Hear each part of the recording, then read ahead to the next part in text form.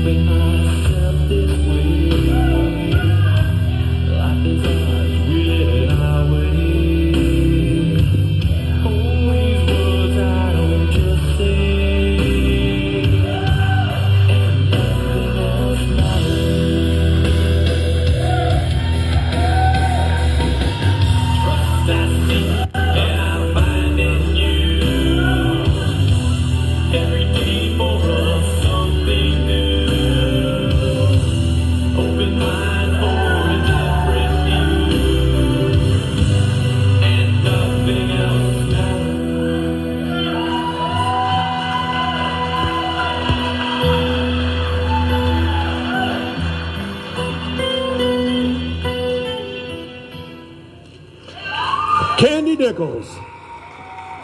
Very nice. Um, our next